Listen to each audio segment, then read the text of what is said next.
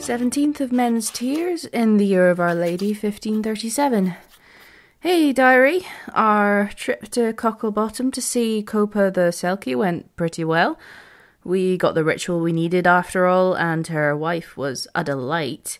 But Squirm was very prickly and evasive, more so than usual, I should add.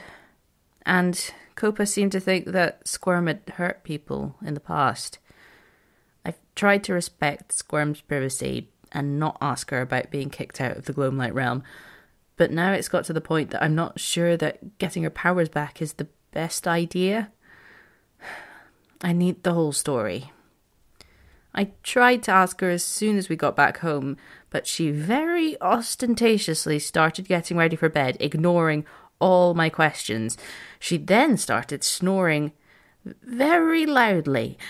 I'm positive she was just faking to get me off her back.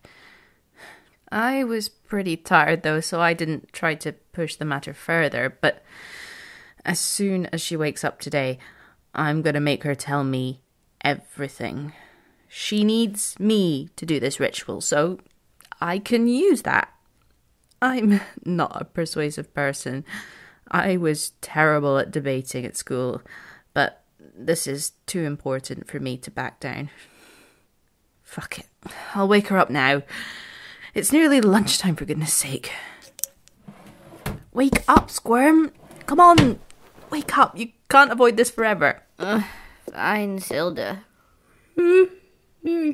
Just give me a moment. No, I won't actually. You you owe me some answers. No, I don't. It's my life, not yours. So get your nose out of my fucking business.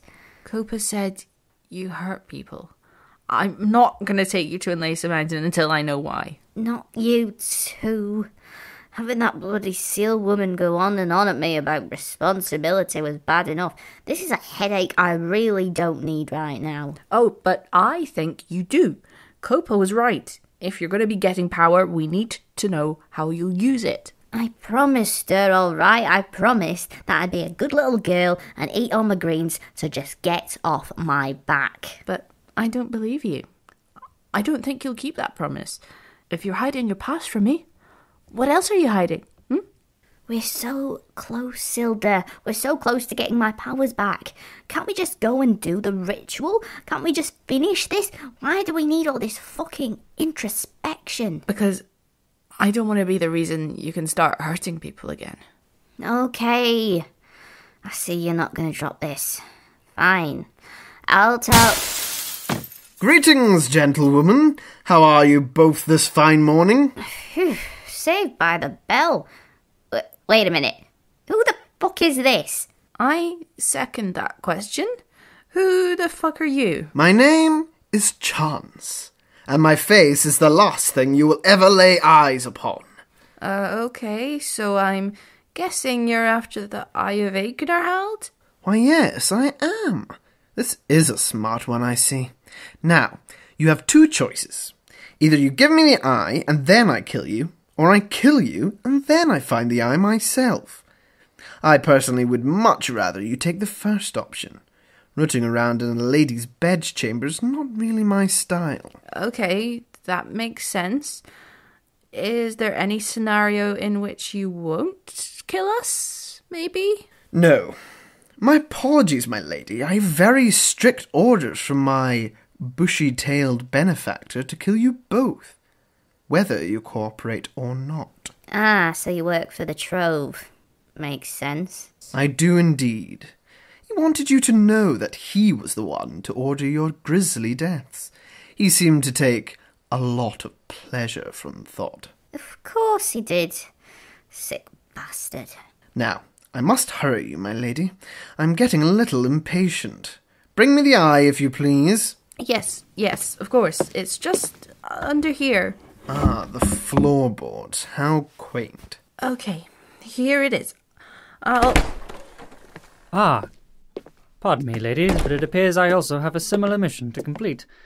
I'm afraid this puts us in a rather awkward position, Mr. Chance. Not as awkward as that time we bumped into each other in Votun, if I remember correctly. Nevertheless, it is quite delightful to see you again, sir. You know this guy? Who is this plonker? Judging by his evil civil servant vibes, I'm guessing he's from the Bureau? I am known as Halen. Pleased to make your acquaintance. I am indeed from the Bureau of Magical Affairs. They prefer that we remain discreet, but as you will all be dead in a few minutes, it doesn't really matter whether you know the identity of my employers. Um, hey, excuse me? Are you including me on your death list? Because the Assassin's Code clearly states that. Uh, I'm afraid that is not the case. If we were both hired only to kill these targets, then we would be forbidden from harming each other. But you see, I also seek the Eye of Ignorheld. So this puts us in direct competition, which means the protections put in place by the Assassin's Code do not apply in this instance. Therefore, I must ask you to face me in an honourable duel for the eye. Very well. It would be my pleasure to best you in a duel, old friend. Don't be so cocky, sir. You haven't yet faced my prowess with firearms. Your fancy new-fangled toys can't help you, Halen. My daggers will find their rightful place in your heart soon enough. Stop sassing each other and fight, God damn it. All this jabbering is giving me a migraine. Very well. The target has a point. Let us begin. Should we do something? We should just sit back and watch. Either one of them kills the other, or they both kill each other. Whatever happens, we're quids in. Yeah, that's not as comforting as you might think. Ah! That was a dirty move. Halen, I expected more from you. You shall taste my blade again before long. Are they flirting? I, I think they're flirting. Just missed you. Really? Are you sure? You don't read as many romance novels as I do without being able to recognize the signs. Now we mention it, neither of them are aiming for the vital organs. I think you might be right. Of course, that's the thing you notice. Don't move a muscle, or I will blow your brains out. Ah, I see you haven't noticed the dagger poised by your jugular. It appears we have reached a stalemate. Yes, it appears we have. Kiss, you damn fools! Squirm? What? We were all thinking it. I was certainly thinking it. I've been thinking about it for some time, in fact. What about you, Halen? I. I didn't think you felt that way about me, Chance. You seem so. outgoing with everyone. I never dreamt. I have felt that way since Futun, Halen. And I think you have too. I. I believe you are correct in your assertion, Mr. Chance. Enough of this faffing about. Just ask him on a date and be done with it. The little lady is right, Helen. Would you do me the honour of accompanying me to the Peacock's Feather for a fine beverage? I would, sir. I would indeed. Excellent. Now that that's sorted, are you prepared to lower your weapon? I am if you are. On the count of three. One, two, three. Marvellous. But this does leave the small matter of the targets and the eye. Yes, this is rather a predicament. I'd really rather that you didn't kill us, but then I am somewhat biased. I am quite fond of being alive. I agree. Well, I'm sure we can come to some sort of an arrangement. You did set us up on our little date after all. Do your employers need some kind of proof that we've been killed? The Bureau asked that I bring them a lock of hair from each of you. And the Trove wanted vials of your blood. Creepy, but okay. We can give you those things. But which of us shall take the eye? I. I don't know. How about this? Chance takes the eye to the Trove, then steals it off him again when he's not looking, so Halen can take it to the Bureau. To be honest, it's probably safer with the government knuckleheads than the power hungry squirrel, though it is a toss up. I am comfortable with this plan. What say you, Chance? Makes no odds to me whether the trover of the Bureau has the eye. If I get paid, which I surely will be, then I'm happy. Plus a little extra skullduggery on the side is always fun. Or, since the Trove is so incompetent, you could give him a replica and he'd never know the difference. You probably have forgery contacts, right? I do, in fact. One of my more talented friends owes me a favor. This would be an excellent opportunity to collect on that. This seems like a good plan to me. I am willing to do as you say. Any good assassin knows when it is advantageous to stay their weapon. Unnecessary bloodshed is rather vulgar. Excellent, so it is settled.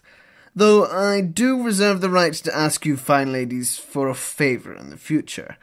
It's always good to have a wide network of contacts, wouldn't you say? Yes, I agree, Mr. Chance. All right, I'm cool with that.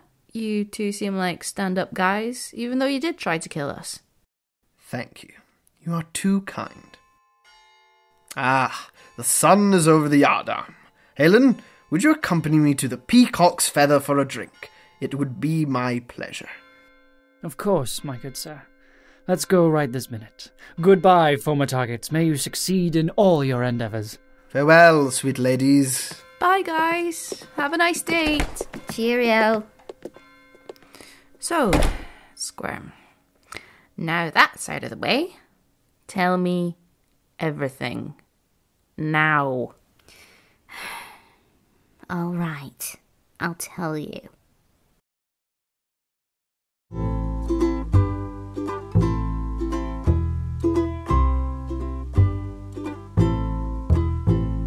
You have been listening to the Prickwillow Papers, Episode 9 Dagger and Pistol. This show is a Snazzy tapir production. It was written and produced by Maddy Searle and performed by Maddy Searle, Lewis Robertson, and David Devereux, with additional recording by David Devereux. If you'd like to support the Prickwillow Papers, follow the links in the show notes to find out more about our Patreon campaign, our Ko-fi page, and our merch on TeePublic. We hope you join us again soon.